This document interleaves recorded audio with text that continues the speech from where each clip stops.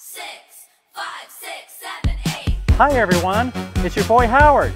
We're out here on US 6, 800 North in Spanish Fork to see some highly modified asphalt go down.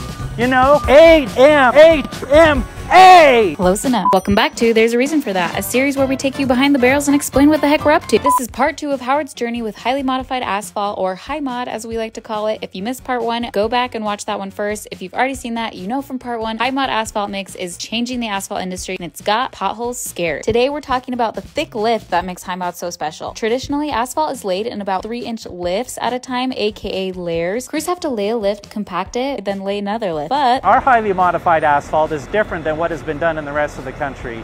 In Utah, we've closed down the air voids and made the pavement much more dense. And because of that, we are able to compact a thicker lift. And if you compact a thicker lift, not only is it faster, but it's much stronger. Basically, our HiMod is thick. The more glue, aka more binder there is, the denser the asphalt becomes, which in turn makes it more difficult for water to sink into the material, which is important because When water freezes, it expands with tremendous pressures and it will break the pavement apart. we save time and therefore money by using HiMod. And because of its density, the air voids are reduced so water can't sneak into cracks and form those pesky potholes. HiMod is becoming the standard in Utah. Here's your reminder that not all superheroes wear capes. Sometimes they suit up in PPE instead.